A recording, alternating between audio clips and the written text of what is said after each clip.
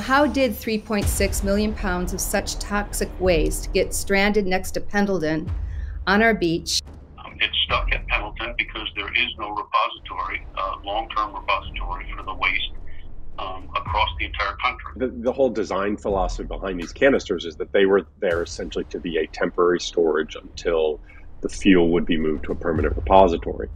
San Onofre's lethal waste is stored in thin metal canisters placed in a wet, salty environment. And by looking at the conditions of the tsunami wall, you can see the effect the ocean has had on metal and concrete. There's no way to unweld the canisters right now to see what the condition of the fuel is inside. So I would rather ask the question uh, not how long will they last, but how soon could they fail? And that's where the risk factor really comes in when they say, well, the risk is minimal.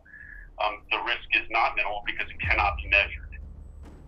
And if it cannot be measured, then you have to assume